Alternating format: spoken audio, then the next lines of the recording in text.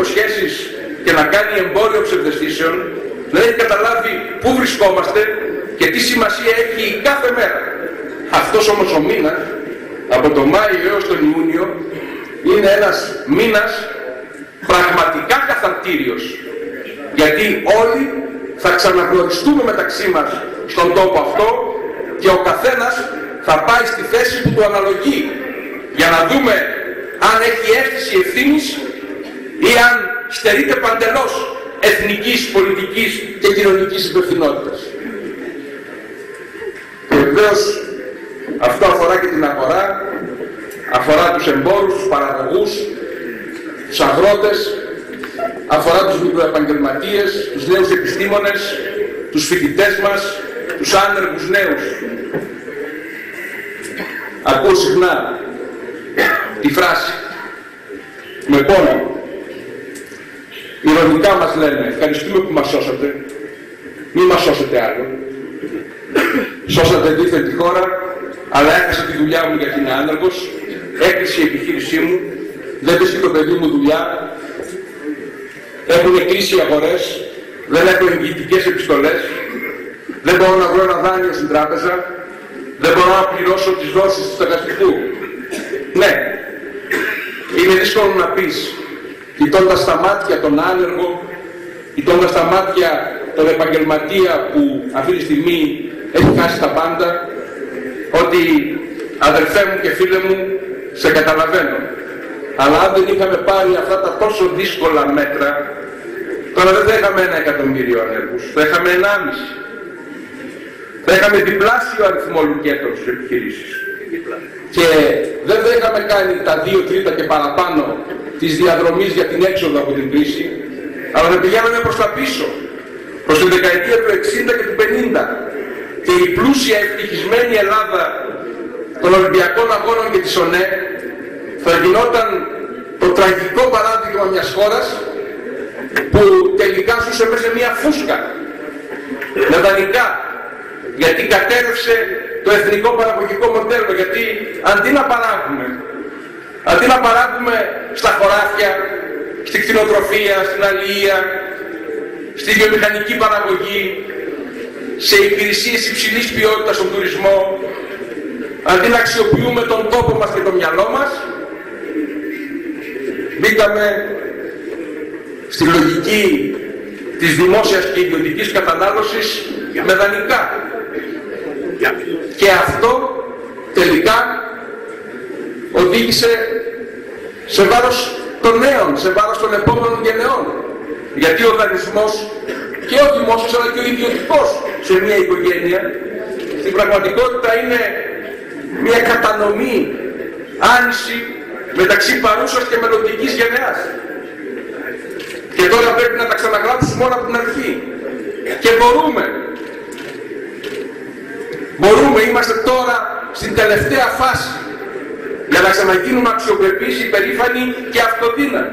Το χειρότερο απ' όλα, και με αυτό τελειώνω, είναι ότι έχουμε δυστυχώς μετά από τόσα χρόνια ξανά πρόβλημα δημοκρατίας στον τόπο μας.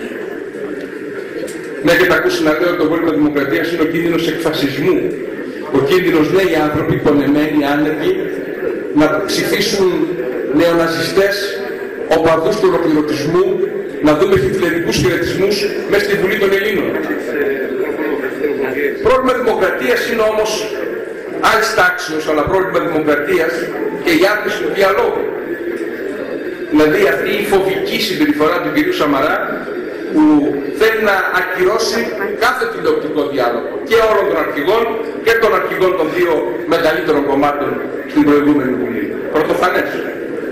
Δεν θέλει να δοκιμάσει αυτά που λέει σε έναν διάλογο μαζί μου, ούτε στην Βουλή κάθισε ποτέ όσο ήμουν αντιπρόεδρος και υπουργός οικονομικών να μετάσχει σε έναν διάλογο στον οποίο με είχαν άλλη πολιτική έθεση.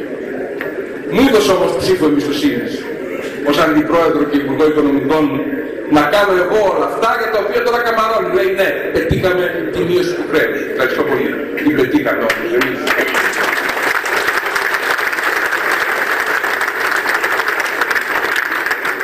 Φίλες και φίλοι, τα πράγματα είναι απλά. τα διλήμματα καθαρά. Και οι απαντήσεις πρέπει να είναι απλές και καθαρές. Οι καλοί λογαριασμοί κάνουν τους καλούς φίλους. Το Πασόκ δεν έχει καμία επιθυμία, καμία να ασκεί την εξουσία. Φθορά, κόστος, αντιδημοφιλείς επιλογές και κάποιοι άλλοι εκ προσφαλούς δημαγωγούν, ελπίζουν να ασκούν κριτική και κάνουν τον έξυπνο. Όχι. Είμαστε έτοιμοι να βοηθήσουμε, να συμβάλλουμε, να πάρουμε την πρωτοβουλία, να οργανώσουμε τη νέα συμμαχία των προοδευτικών υπεύθυνων και αλληλέγγυων δυνάμεων της σοβαρότητας και της προοπτικής, αλλά αν μας το πει ο λαός. Αν το πει ο λαός καθαρά και στα ποσοστά, καθαρά και στις έδρες. Αλλιώς τα πάνε κυβερνήσουν. Και εμείς, εδώ είμαστε, επικοδομητική αντιπολίτευση. Θα τα πούμε, θα τα λέμε.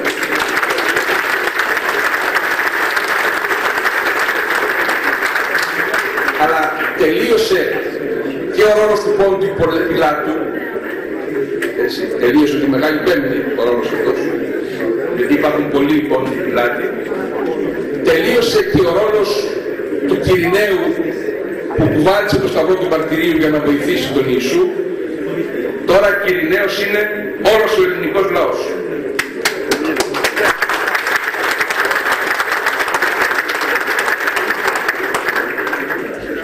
Με αυτές τις σκέψεις, με αυτές τις απλές αλλά ρεαλιστικές σκέψεις, σας καλώ και εσάς εδώ τον δημοκρατικό προοδευτικό λαό της Τρίπολης, της Αρκαδίας, της Πελοποννήσου να πάρετε αυτή τη μεγάλη υπόθεση, τη μεγάλη εθνική υπόθεση της ολοκλήρωσης της εξόδου από το μνημόνιο και την κρίση στα χέρια σας. Σε έξι, εφτά μέρες η χώρα αποφασίζει και πρέπει να αποφασίσει υπεύθυνα, με ασφάλεια, προς μια προοδευτική κατεύθυνση. Βλέποντάς σας, κοιτώντας την καθημερινά και τον καθένα από εσάς στα μάτια, βγαίνω πολύ πιο αισιόδοξος. Γιατί βλέποντας τον προβληματισμό σας και την αποφασιστικότητά σας, ξέρω ότι μπορούμε να νικήσουμε. Οι Έλληνες αγωνιζόμαστε και θα πετύχουμε. Γεια σας και με την νίκη. Γεια σας.